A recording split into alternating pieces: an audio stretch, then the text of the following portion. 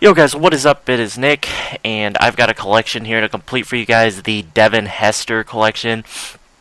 Um, I pulled two or three of his collectibles out of packs, and I bought, uh, I bought one or two of them, I don't even remember, but completing the Devin Hester collection.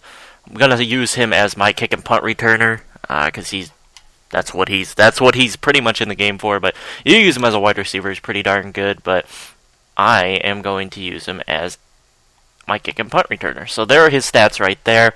I'm just going to throw him into the current lineup, and then I'll go show you guys his depth chart stats. Let's see here, lineup over. Throw him in specialist.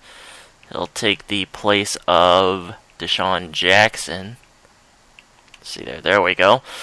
Now, let me go through and do this. So, wide receiver, I'll get rid of Shane Vereen and put in Devin Hester, and we'll go through these. So, he's got 98 speed, 64 strength, not bad, 96 agility, 99 acceleration, that's what I'm talking about, 92 awareness, 99 elusiveness, 98 ball carrier vision, 96 spin, 97 juke, 85 carrying, 88 catching, 83 route run, 85 catch in traffic, 88 spec catch, 88 release, 94 jumping, I'm liking what I'm seeing here. Definitely good for kick and punt returning for me. Let's see here, stamina 95. So he's pretty good, pretty good. I am happy to get him. I'm gonna. He's definitely gonna be used as my kick and punt returner for a long time, unless um, something happens uh, where I get some way better wide receivers. Then I'll probably put Trindon Holiday there.